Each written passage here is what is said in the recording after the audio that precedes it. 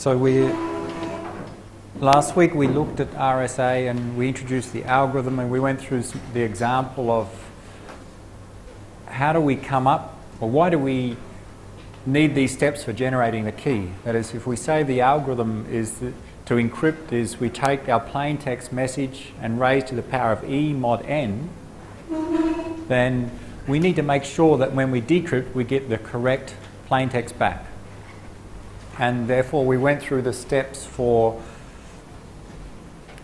how do we generate the keys, where the, the values are the values of E, the public exponent, D, the private exponent, and N. And we went through an example of uh, using RSA. We may see a few more examples of RSA today. We've missed or skipped over some slides which we're going to return to and say a, few more things about RSA. Uh, what we went through last week, I wrote a fair bit on the board, but in this handout which you have in front of you as well, at the end of the, this set of lecture notes, it describes or writes down some of that discussion from last week. So if you didn't follow everything of how do we derive the keys in RSA, then it's in these handouts here. And there's some examples as well in the lecture notes. So RSA can encrypt our data and different from symmetric key cryptography, we have two different keys and importantly, the two users do not need to exchange a secret beforehand. Because with RSA, I have a public key and a private key, as do other users. I, to encrypt to encrypt a message to send to someone else, I encrypt with their public key. So there's no need for some secret exchange of keys before I send the, uh, the message. I just ask them for their public key and they publish it on a website, in an email, or, or give it to me somehow and I can encrypt and send confidential information to them. So that's a very good feature of RSA and in general public key cryptography, this independence of a, a shared secret key. And effective, if we use long enough keys, we'll talk about the length a bit later, but if we use large enough values, it's considered secure. That is, if our modulus n is large enough, for example, a 2048-bit number may be recommended. Even a 1,000-bit number is considered secure in some cases. If the numbers are large enough, RSA is considered as secure and there are no known techniques uh, that make it any less secure than our block ciphers like AES and triple DES. So what's the problem with RSA? If we've got RSA, why would we still need something like AES or triple DES?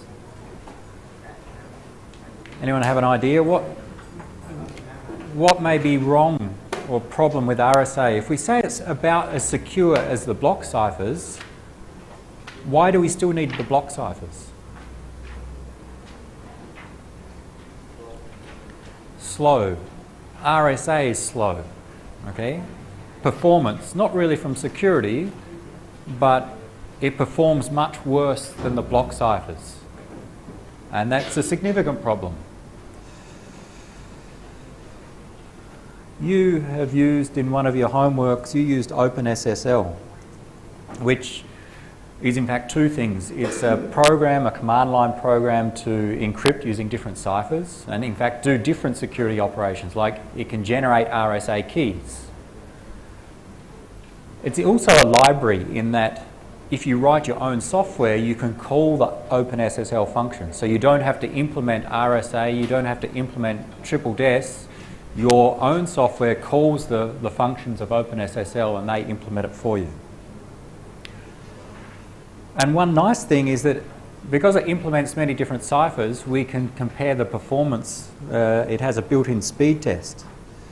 OpenSSL speed and we can either run it and it will test all possible ciphers, but I don't want to wait for too long. I'll just select some ciphers. DES, AES, RC4, remember we covered RC4. The first two, DES and AES, are block ciphers.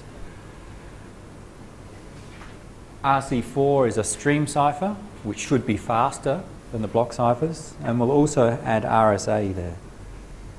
And what that does is OpenSSL does some tests, and you can see for three seconds it, it encrypts using RC4 some, some data, in this case 16, 16 byte, uh, uh, 16 bytes of data, and it just times how long, or counts how many encryptions it can do. And at the end, it's going to report some statistics of how fast it, each of those ciphers can be applied. And it does for different combinations. Which one do you think is going to be the fastest of those four ciphers? DES, AES, RC4, RSA. Which one? We'll have a vote. You've got four options. DES, AES, RC4, RSA. Which one do you think is going to be the, the fastest? Hands up for DES. Okay. A AES? No one. RC4? Anyone? Two or three people. What about RSA? Well, hopefully no, because we just said RSA, the problem with it is it's too slow. Let's have a look at the results. And it takes some time. Uh, it takes a lot of time, in fact, because it, in fact it tries different key lengths. With AES, you can have different key lengths 128 bit key, 192 bit key, 256 bit key. So it's done AES, above it it's done DES and RC4, it's doing RSA now. RSA is a bit different. Because it's slow, it's not normally used to encrypt large chunks of data. Okay? It's only used to encrypt small pieces of data. And that limits its application to not so much for encrypting messages, but for authenticating messages.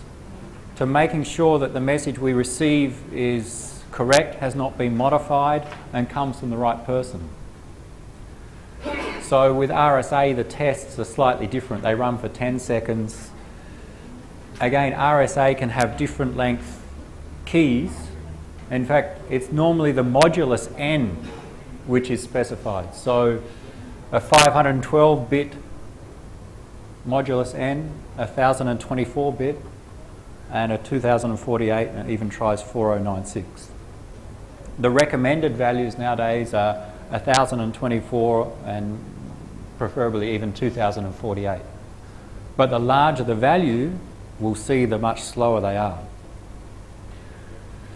This gives some the summary statistics. Let's see if we can get it a bit nicer. It's wrapped around, but uh, let's see. And I'll just make notes of some of them on the board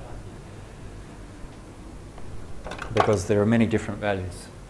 With the stream and block ciphers, so RC4, DES, it also does triple DES, EDE3, AES with the different key sizes.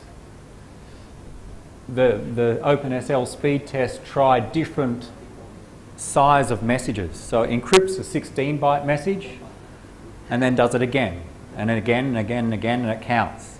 And then it did it for 64 byte messages. Let's just focus on the first column, the 16 byte messages. With, let's try our first cipher that we covered, DES with 16 byte messages, DES using CBC, the mode of operation. This is 51,501 kilobytes per second. That's the speed at which you can encrypt. 51,000 kilobytes, which is what? 51.5 megabytes per second. So it's just encrypting a lot of data and the measurement here is saying using these small messages, you can encrypt, encrypt at about 51 megabytes of data per second. Okay? Let's look at the others. DES, triple DES. EDE3 means encrypt with DES, decrypt with DES, encrypt with DES with different keys. So the triple DES here. All right, three DES. The speed is here, 18862 kilobytes, 18 megabytes per second, 18.9 megabytes per second. Approximately one third of single DES. Because all triple DES is really is applying single DES three times. Therefore, it's going to be three times as slow as single DES. Okay? We want to be able to encrypt more megabytes per second. So DES is, of course, approximately three times faster than triple DES. But triple DES is more secure because it uses multiple keys. It increases the key length. The problem with single DES is it uses a, or it has effectively a 56-bit key. Tri triple DES uh, increases the key length, but at the expense of performance. Let's focus on AES with 128-bit key. AES 128-bit key, 80 megabytes per second. 80.3 or 80.4 megabytes per second. So AES, which is a, about the same strength as triple DES, is about four times faster than triple DES. So there's the advantage of AES compared to DES and triple DES. It's secure and fast compared to the others. So AES was designed with the performance in mind. So they designed the algorithm considering that, uh, uh, or trying to optimize so that also considers performance. Now, there's some other things that are happening here. Although it's not shown, some, so my, I ran this on my laptop, which is a mobile uh, Intel i7 processor. Some processors support AES instructions in hardware. Okay? Normally our encryption is done in, in software. So it's just encrypted uh, in software on my computer. But Intel have something called AES-NI. Uh, I can't remember what NI means. Um, new instruction, or uh, I'll see if I can find during the, the break. But it's a set of instructions that the processor executes that implements some parts of the AES algorithm in hardware, which makes it much faster.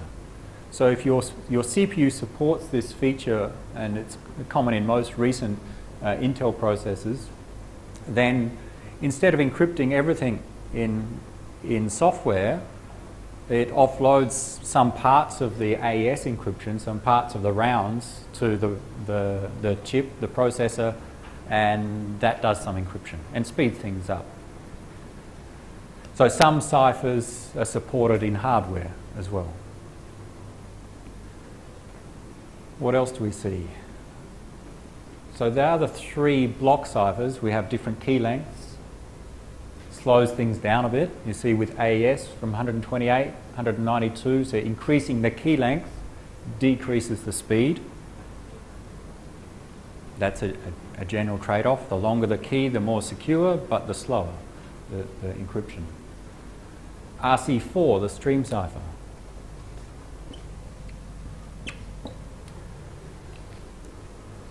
Up the top, 340 megabytes per second.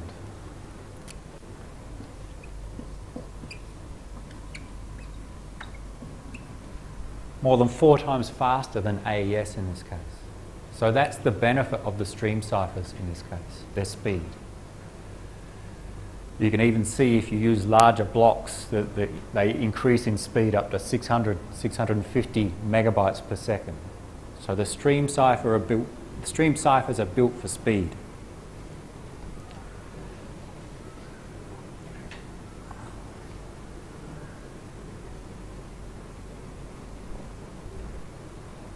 But as you saw in your exam, there are some problems if you use the keys uh, inappropriately in a stream cipher. You shouldn't repeat the, the key and uh, the same plain text because you may be able to, from the ciphertext, you may be able to discover the, the plain text. So you use initialization vectors uh, in, in the right way to make sure that stream ciphers are secure. Last one, and it's reported differently because RSA is not used to encrypt large blocks of uh, data at once, because it is slow, what it's used, and we haven't covered it yet, but it's used to provide signatures uh, to authenticate where this data came from. So we have mentioned the fact that we can encrypt using the public key and then decrypt using the private key, but we can also use the keys in the opposite direction. Encrypt something with the private key and send that message to our destination, and then the destination can decrypt with their with, with the sender's public key to verify where it came from. So what I do is I encrypt the message with my private key, send it to you, you decrypt with my public key. If it successfully decrypts, it confirms that I encrypted it because only I could have encrypted it with the private key. So that's an authentication feature. It's the concept of me signing a message, putting my signature to the message so that when someone receives it, they are sure it came from me, not someone pretending to be me. So OpenSSL reports the time to sign a message, that's at the sender. I would sign the message, I would send the message to someone else, and that other person would verify the signature. So the signature, the signing part is performed using a private key, and the verification part is performed using the public key. So it reports both of them. Number of signatures per second, let's focus, say, on a typical 1024, uh, 1024 bit uh, RSA. 4,000 signatures per second, okay? And it's only signing a small amount of data most likely I think in the order of 128 bits, 16 bytes. So if we compare to this column, signing 435 times per second,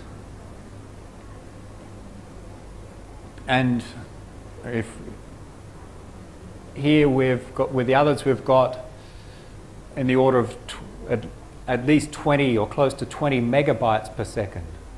20 million bytes per second. Let's say each signature was just 16 bytes, which I think is the typical size. If we multiply by this by 16, what do we get? 16, about 64, 64,000 bytes per second. So roughly in the order of 64 kilobytes per second versus 20 megabytes per second. So it's at least a thousand times slower than the block ciphers. Don't worry too much about the numbers. The point is that, okay, here we're doing thousands per second, here we're doing millions per second. There are some slight differences in, in the size of the blocks that they operate on. This 1024 is not the size of the data, it's the, the length of the modulus n. RSA is much slower when we have to sign data. And verification is faster than signing. So what is it? About 10, at least 10 times faster in this case. What's the difference between encrypt and decrypt operations in RSA?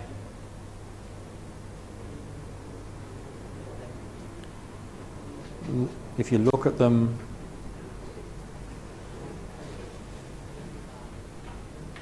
encrypt, or the first one operation, m to the power of e mod n, and the decrypt is the same operation.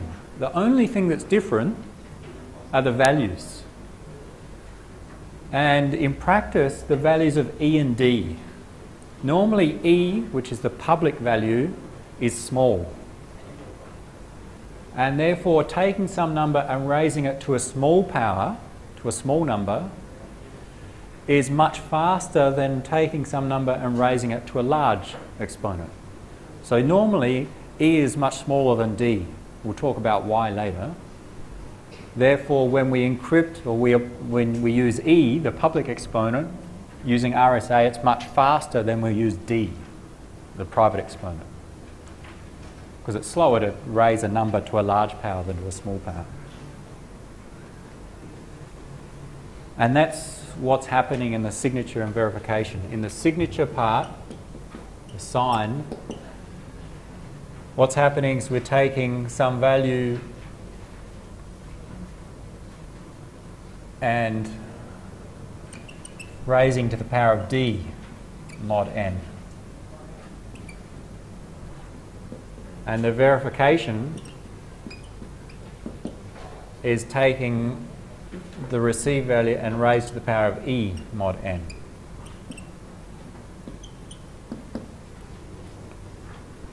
And because e is usually much smaller than d, the verification is usually much faster than the signing.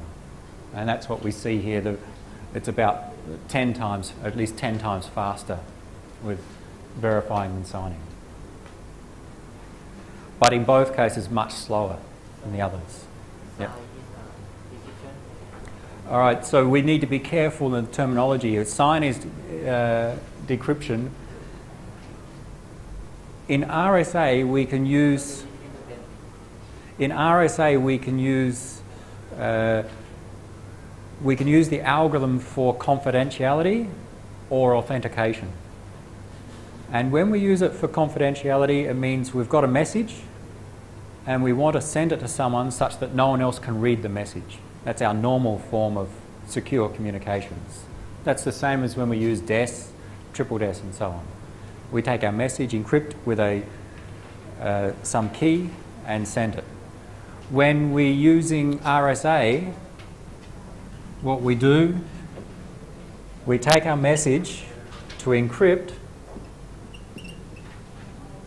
for confidentiality, take our message, and we raise it to the power and mod by n, what do we raise it to the power of? E, more specific, E of who?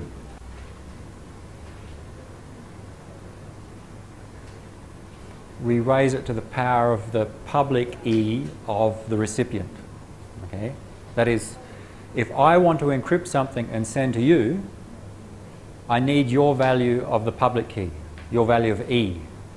So what I do is I take the message I want to send, raise it to the power of E, mod n, I get my ciphertext, send the ciphertext, and the receiver takes the ciphertext and uses the opposite value. Instead of E, D, the private value, mod n, and gets M back. That's for confidentiality, making sure the message is secret. But we can use E and D in the opposite direction. Remember, E is the public value and D is private.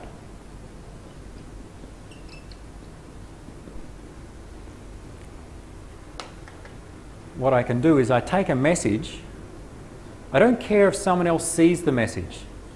What I want to make sure, and especially the recipient wants to make sure that the message came from the person who they say they are. So what I do is I create a message and I use, I use the RSA algorithm and I use as the exponent D, my private value. Only I have D. And when I send that value of C to you, what you do is you take my public key, in particular my value of E, and you take C, raised to the power of E mod n, and you get the original message back. This is the authentication operation. It's the receiver making sure that the message came from me. Because if someone else sent it, if you try to decrypt using my public value, my public E, then it will only be successful if I encrypted it with my private D. And the only person in the world that has my private value of D is me. which confirms it must come from me if it's successful. So, yes, this is the, well, this these four operations are all the same. It's the same equation. We just change the variables, or change the, the yeah, the, the variables here. So it's all take some value, raise it to the, some exponent, mod n. It's just in what order do we use them? For confidentiality, we use the public E and then the private D. For authentication, we use the private D of the source and then the public E of the source at the recipient to authenticate. And this is what's being done in this OpenSSL speed test.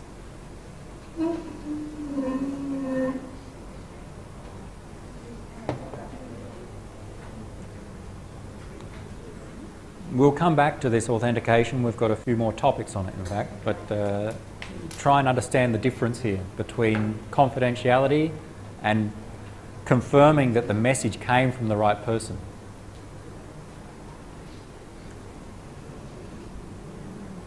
In fact, let's, let's return and discuss that a bit more now. The point here was the, the speed. Stream ciphers are fastest, RC4 in our case. Then block ciphers, AES is, is quite common in use today. It's got fast software implementations and also some hardware support. DES, triple DES, uh, getting old and that they're uh, much slower to use. And public key cryptography is much, much slower than symmetric key cryptography. And that's the main limitation. And hence, in practice, it's, it's not very often used to encrypt files, for example, or to encrypt data as you're sending it across a network. It's mainly used for signing and verifying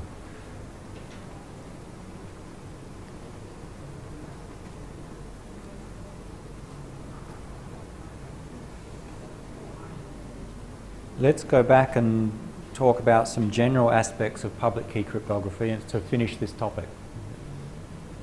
And just make this concept of authentication and confidentiality clear. So we're going backwards now.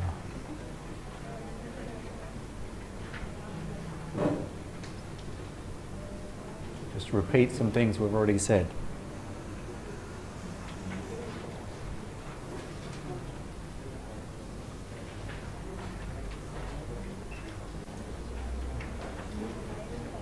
These two slides show this concept of encrypting with a public key and encrypting with a private key.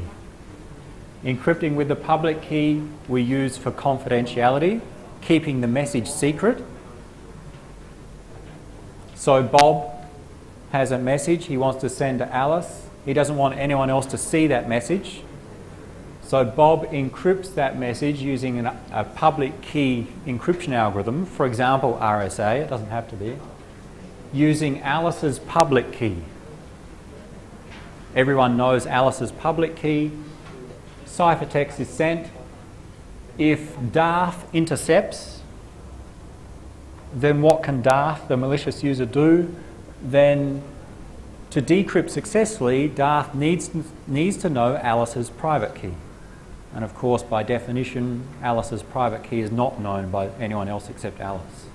So, so long as you cannot determine the one key from another and that the algorithm is strong, then someone who intercepts this ciphertext cannot get the original plain text unless they have the corresponding private key.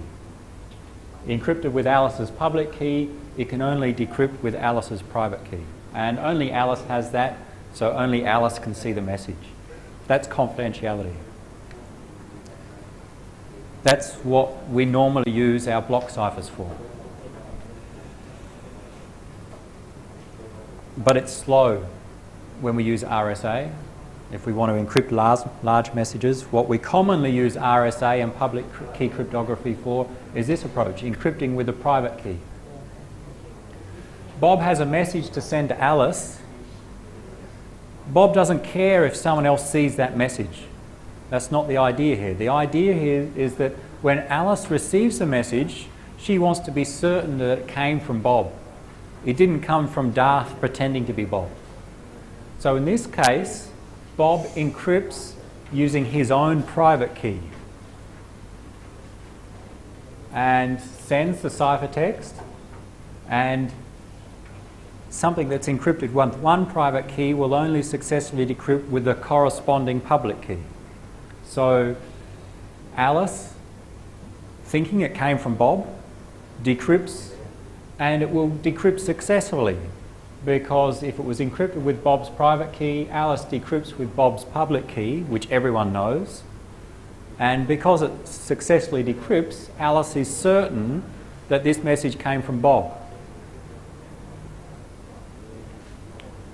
What if some other user, Darth, our malicious user, sent a message to Alice saying, This is a message from Bob, with the intention to fool Alice to thinking it came from Bob? What can Darth do? Darth cannot encrypt this message with Bob's private key, okay? Because they don't have Bob's private key. So the only thing that Darth could do would be to try and maybe encrypt some message with someone else's private key, his own private, private key. So if Darth creates a message, encrypts with his own private key, sends to Alice saying this is from Bob, then what Alice does to verify is Alice decrypts using Bob's public key. And that will be unsuccessful because if it's encrypted with Darth's private key and Alice decrypts with Bob's public key, that two uh, they're mismatching keys. They're not from the same pair. And therefore, it will not successfully decrypt. When you decrypt with the wrong key, you'll get some indicator of that. And then Alice will know, ah, this did not come from Bob. It came from Bob if it successfully decrypts with Bob's public key. If it doesn't, it must have come from someone else or something went wrong. And that way, Alice will know that uh, they have to somehow other and some other means confirm with Bob what's happening. So this is for authenticating where the message came from. Confirming that the message came from Bob, not from someone else.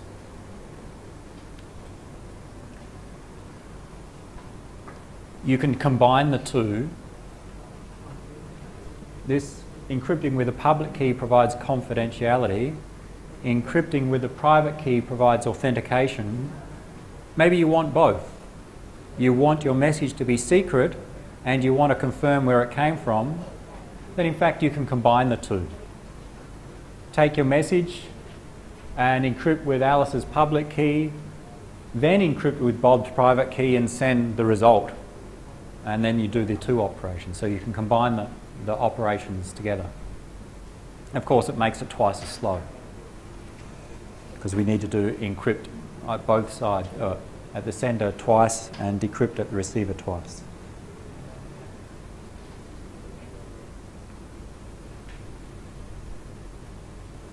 So that's what the OpenSSL speed test did, the signing and verifying.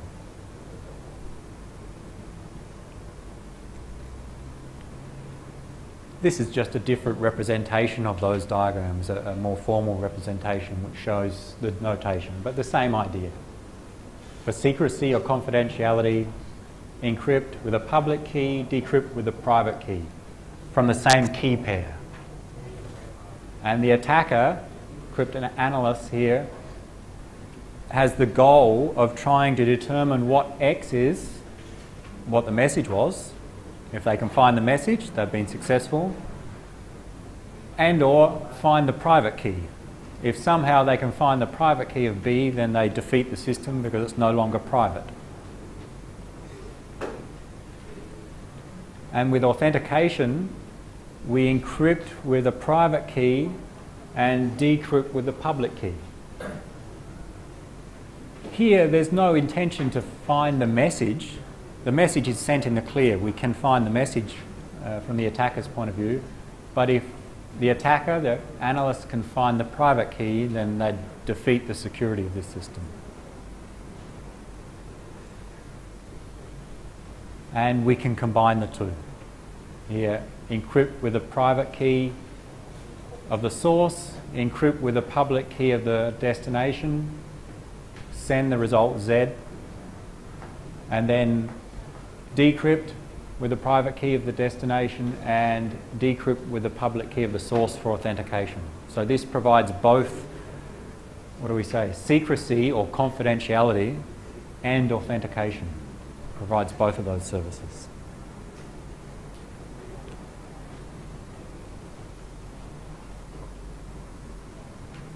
So public key cryptography can be used for different security services.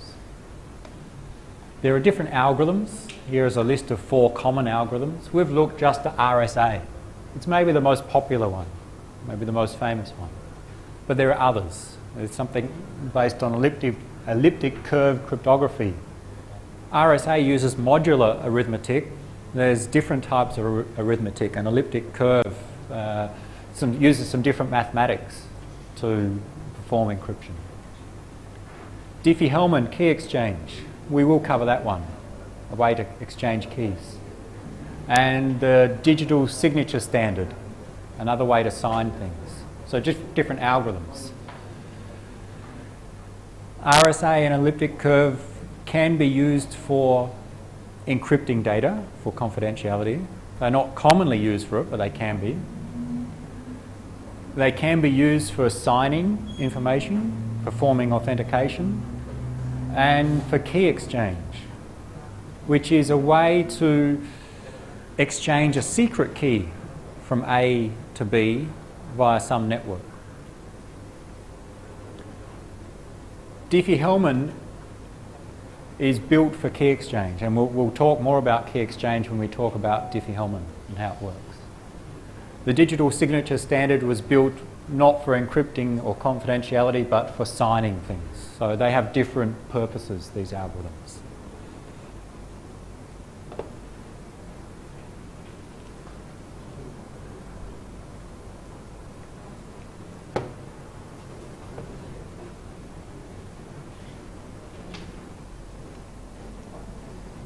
So what do we need for public key cryptography to work? we need to be able to generate keys. So every user needs a pair of keys. So the algorithm for generating the keys must be easy to perform. By easy we mean can perform, can operate in a matter of milliseconds, seconds normally. Okay? So if I want to generate my key pair, I need an algorithm and software to do that for me and it should be reasonably fast. It shouldn't take forever.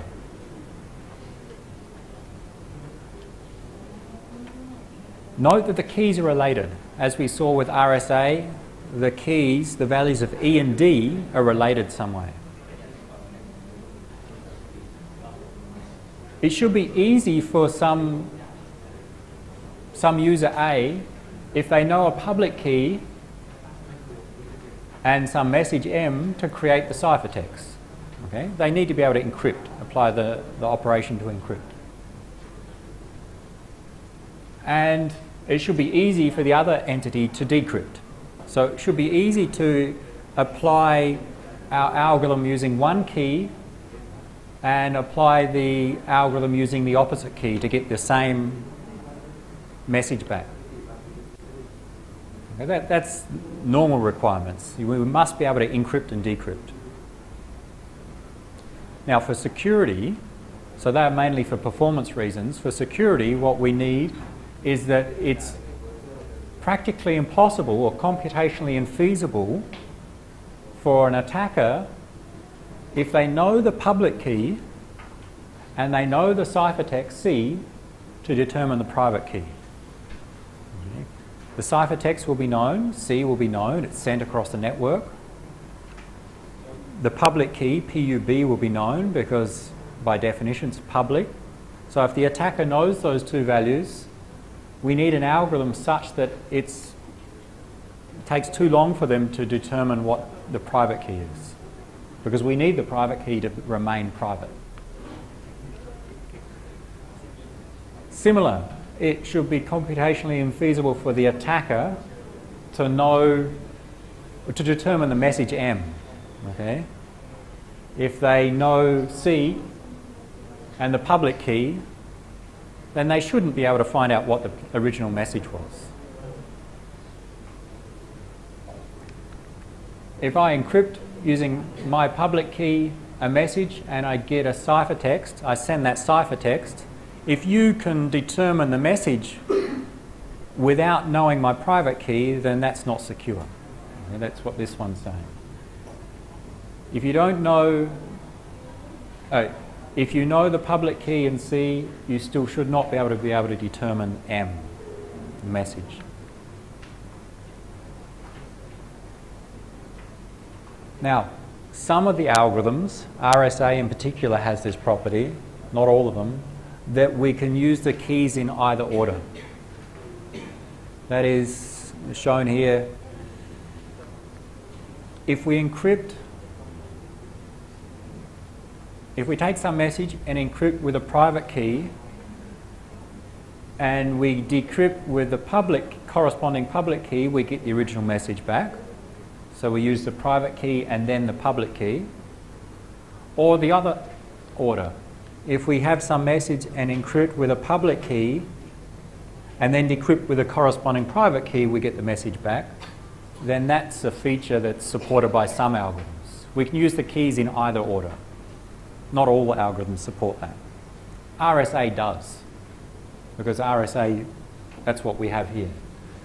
Encrypt with the private value, decrypt with the public value, or encrypt with the public value E, decrypt with the private value D.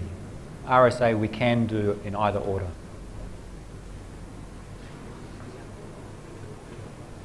So importantly for security, an attacker cannot determine the private key nor find the message given the ciphertext, assuming they know the public key in the algorithm.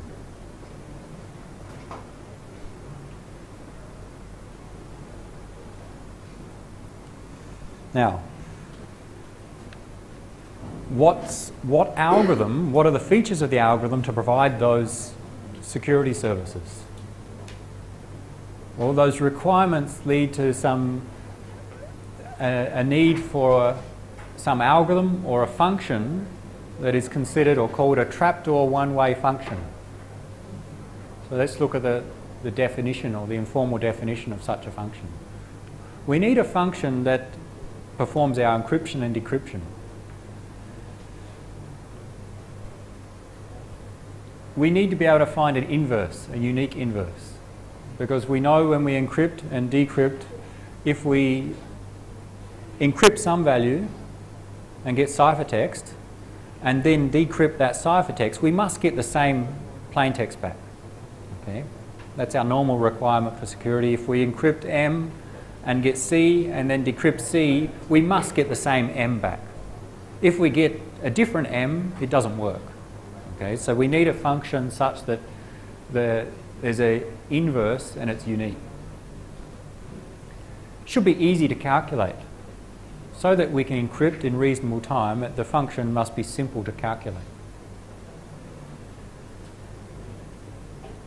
But the inverse of the function, so some function which we apply which is easy when we apply that function, but when we do the inverse, it should be hard to calculate unless some information is known.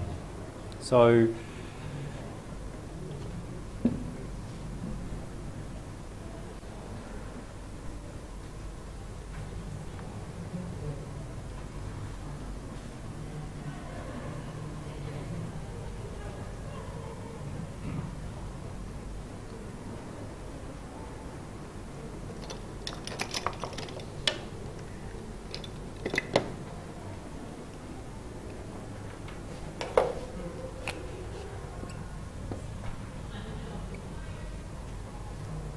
need some function that takes some input, x, and returns some output y. This function is, our, is going to be our uh, public key cryptography algorithm. What are the requirements on that function? That we can easily calculate this, that we, and defined here, it's easy to calculate that function if, what have we got? I think there's a mistake here as well. This should be x. Easy to calculate if k and x are known. Okay. So if we have the, the key, k, and the input x, we can easily find y.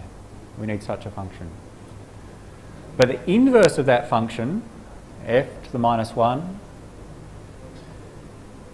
if we know the input y and the, the key k, we can apply the inverse and easy to get x, which is equivalent to, we'll see, our decrypt operation. If we know the key, it should be easy to encrypt.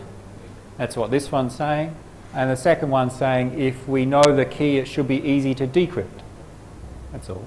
And decrypt is the inverse of the encrypt operation. But it should be infeasible, practically impossible, to, given y, so y is known but the key is not, to find x. So decrypt if you don't know the key. That should be impossible. So these are similar requirements that we've said for uh, all of our ciphers. So what do we mean by easy? What's in, infeasible? Well, there are different ways to measure that. One of them, you look at the computational complexity of the algorithm. So choose a function that meets these requirements. A common way to measure is to say that some function is easy if it can be solved in polynomial time as a function of the input. So if it can only be solved in, say, exponential time, then it's not considered easy. So there is, and I think you've seen in, in, in several, in at least one other course, uh, computational complexity, we can analyze algorithms and see how complex they are and, and give some big order or big O notation to, to indicate the complexity of different algorithms.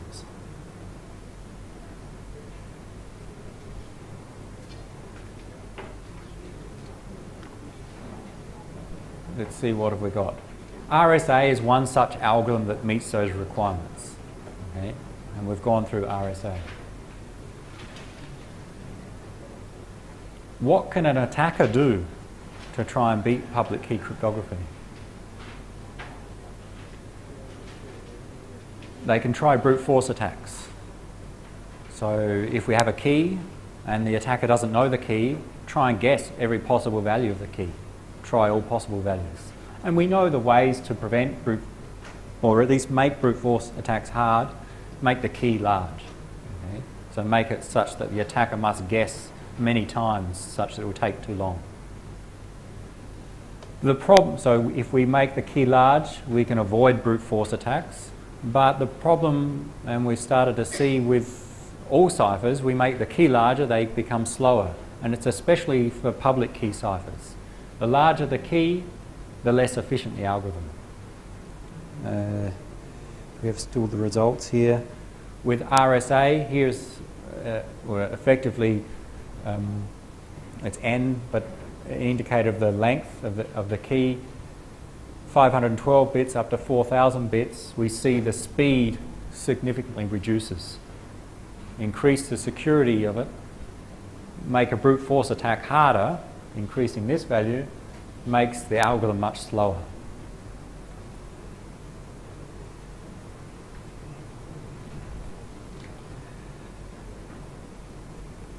Uh, and just go back to that, look at the numbers. Here we doubled the key length, or in fact it's the modulus here, but double the length of the input. And what have we got? A factor of four, uh, eight times slower in that case.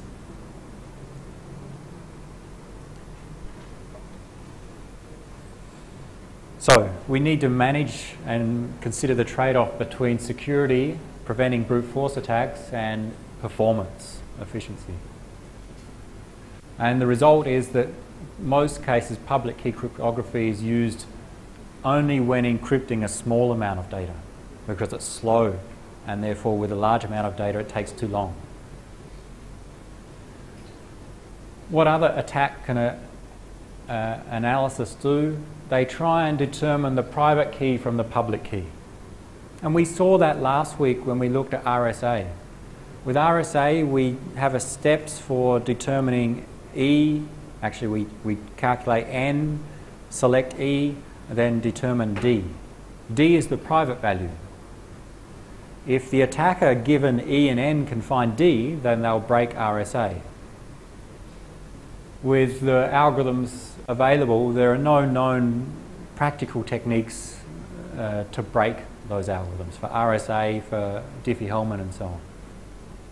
So they rely on mathematics such that there are functions that it takes too long to solve uh, the equations.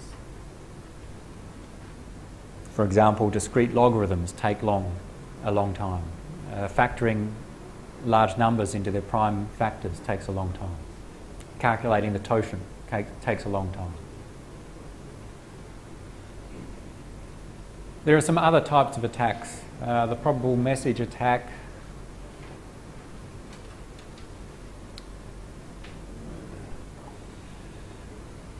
is possible. We'll see, uh, maybe later have an example, but we try all possible values of the message M using a public key. The public key is known, so the attacker takes many different values of M using the public key and see if the value of C that they get matches the value that the other user has sent. And if it does match, then they know what M is. So they can find the message. It's an attack where you try all possible plain text message. It works if M is small. Okay, then we can try all possible values. And the way to prevent that from work being successful is make M large. And if you have a short message, most algorithms can add some extra random data to that to make it much larger, effectively. So there are simple ways to avoid such attacks. So except under special cases, the algorithms of RSA, DSS, elliptic curve cryptography, Diffie-Hellman are all considered secure in that there are no known general attacks there may be very specific attacks if you use the wrong values of the parameters, but they can be easily avoided. So they're considered secure so long as the key lengths or the, the parameter lengths are large enough.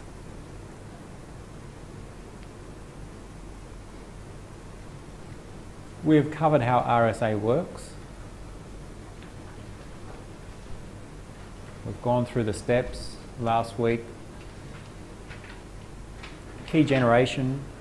After the break, we'll have another example. I'll give you some tasks on generating a key.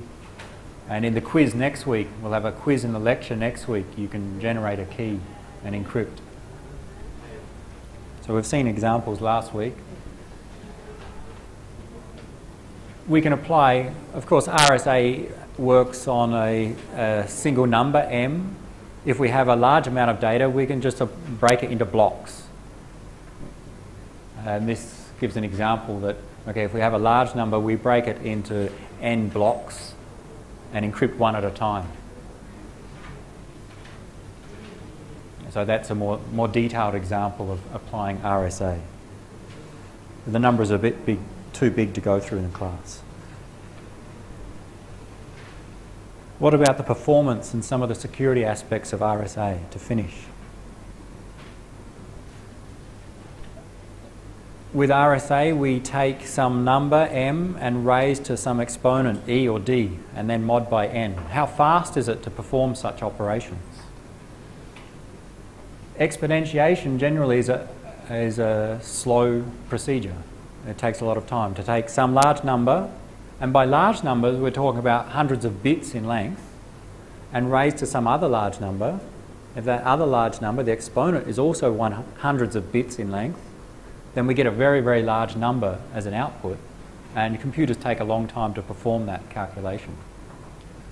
But in fact, when we're using modular arithmetic, there are some properties of the arithmetic that make it relatively simple to calculate. So one such property is that we can, remember exponentiation really is multiplication multiple times. 2 to the power of 3 is 2 times 2 times 2. Okay?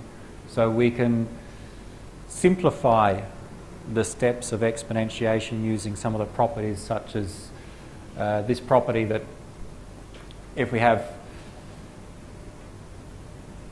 some, some large number, a, uh, I don't know, a, a thousand multiplied by 500 mod 200 is the same as a thousand mod 200 multiplied by 500 mod 200 or mod 200. And that makes things simpler because we're just doing a mod of a smaller number. And we can break that down to, to make it easier for your computer to calculate. So even though we're using very large numbers, it's possible for doing RSA encryption in reasonable time. When we generate keys, we need to choose a value of E. Remember the process is you have two random or two prime numbers, P and Q, calculate N, calculate the totient of N as P minus 1 times Q minus 1, and then select E, which is relatively prime with the totient of N. How do you choose a value of E? And remember, E is public. E is the value that we can tell everyone. Well, you can choose different values, but because it's public, in fact, you can use the same value multiple times. Different people can use the same value. And some common values are e equal to 3. So it doesn't have to be large. 17, 65537. Why these values? Using small values is good because when you take some message and raise it to the power of e mod n, if e is small, then this will be fast to implement because we're just taking some number and raising it to a small power. Raising some large number to the power of 3 is much faster than raising this large number to the power of a, uh, a very, very large exponent. Okay, so a small value makes it perform faster.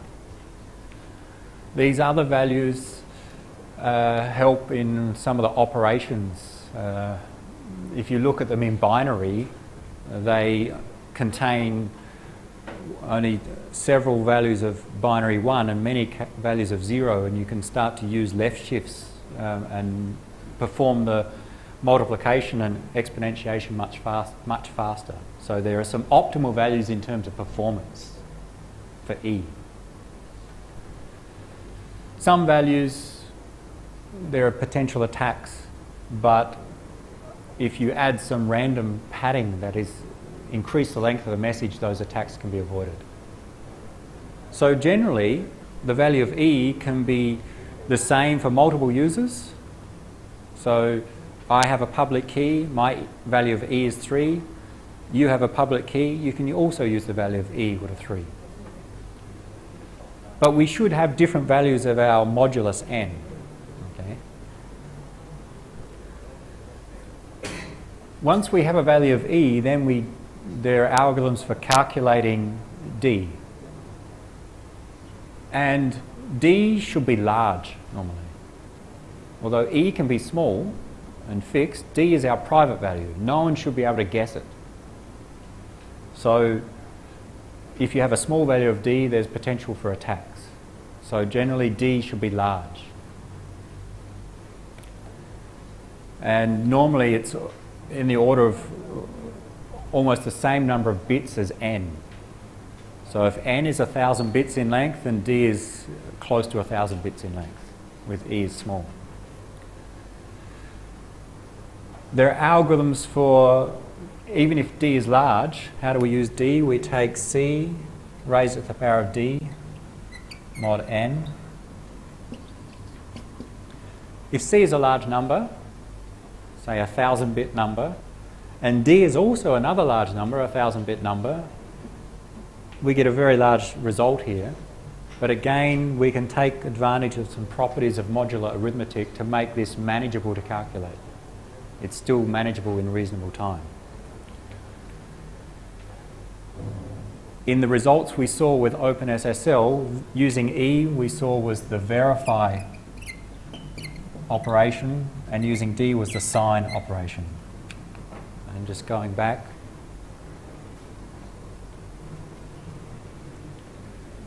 Signing is about 10 times slower than verifying. Because in this case, I don't know what value of E was used, but most likely it was a small value of E and a large value of D.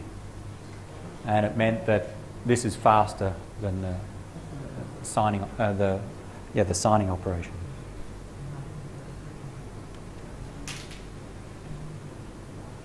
So there are some rules or some guidelines that the values of E you can use.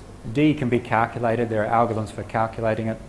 And the other parameters that we choose are P and Q. They are the two prime numbers we start with. They must be private.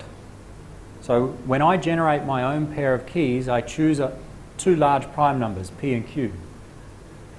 They must be very large. The reason they need to be large is because the attacker, one of their objectives is to take n and factor it into its primes p and q. If n is very large, then that's considered impossible to do in reasonable time. So if you make p and q very large, you multiply them together, then n will be very large, and therefore an attacker cannot determine p and q from n. Very large, again, we'll see some exa examples, but uh, what was the number? One of the more recent numbers, the length of n of 768 bits, so a value of 768 bits long of n, took something like two years to factor into its primes p and q. So make p and q large enough such that n is in the order of 1,000 bits, 2,000 bits, and it's considered secure. It's not easy to find large prime numbers though. And what normally happens is they algorithms choose large random odd numbers. It may be prime, it may not be, it may be composite. And then there are ways to test to, to increase the chance that it is a prime number. So there are ways to, to get a very high probability that P and Q are prime numbers. How secure is it? If you choose large enough D, then it makes brute force attacks uh, too slow, except a large D makes the, the operation here slower, sorry, the signing operation. The mathematical attacks which, which we mentioned last week were you either need to factor n into p and q, it's two prime factors, that's considered impossible if n is large enough. You determine the totient of n directly. That problem is considered impossible if, again, n is large enough. Or you determine d, for example, by performing a discrete logarithm. And discrete logarithms are considered impossible, again, if our numbers are large enough. There are no known ways, if we use large enough numbers, to perform those mathematical attacks. Most of the measures of security of RSA are based upon the size of n because the easiest of those attacks is factoring n into its prime numbers. So that's how people measure how secure it is. There are some very specific attacks, timing attacks taking advantage of how long the implementation takes but there are usually countermeasures, very easy countermeasures that will prevent those attacks. So it's very easy to stop them. Let's just finish with some examples of how long it takes and the size of n. This is a, a bit old, this one's from the textbook, but what have we got? These are how long it takes to factor a large number n. And here's the size of n in bits. So a 600 bit number, a 2000 bit number, and different algorithms have been used to try and factor. Uh, we're not going to cover how they work. I can't even, I, I don't even remember uh, the, the different sieves. And this is the time measured in some uh, um, number of operations to perform and so MIPS years in this case uh, and we're talking about 10 to the power of 9, 10 to the power of 10 MIPS years, where MIPS is a measure of the, the processor speed. But more, maybe more meaningful, RSA, the algorithm, uh, RSA, the company who developed the algorithm, had some competition where you win money if you factor large numbers. And so there was some competition, and you see over the years so the number of decimal digits and the approximate number of bits. And for example, in 1999, 512 bit numbers. So this is the length of n were managed to be factored into P and Q. How long did it take to factor? 8,000 MIPS years, so a measure of the amount of time, computation time to, to factor that. and more recently 2005 663 bits and the most recent one which was part of the competition they've now stopped the competition 768 bits that is n 768 bits long it took approximately two years in real time running multiple computers hundreds of computers at the same time trying to factor one number n into p and q it took about two years of real time to factor the 768-bit n. So if you've got a, a 1024-bit n, it should take much, much longer to be able to factor that, given the known algorithms. And if you have a 2048-bit n, it's considered uh, secure. So it's just a matter of making n long enough by choosing large enough p and q.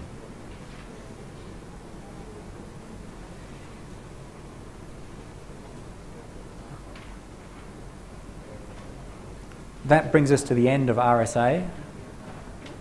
What we'll do after the break is I'll give some examples and you'll have some, some examples of uh, a simple encryption and key generation with RSA. And then if we have time after showing a few examples, we'll look at another algorithm, Diffie-Hellman key exchange. We'll see how far we go. Let's have a break and at 240, we will continue with some examples.